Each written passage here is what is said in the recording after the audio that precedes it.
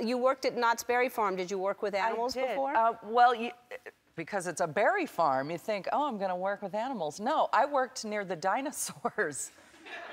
Doing what? In, in a roaring 20s section of the park. They don't go hand in no, hand. No, the Roaring Twenties. That's when the dinosaurs That's when the existed. dinosaurs during existed, during the twenties. There were flappers and dinosaurs. Yeah. yeah. What I did was I worked in roving retail, which means anything you can walk around and sell, like balloons or invisible dogs on leashes. Wow. So I wore a sailor suit in the hot sun.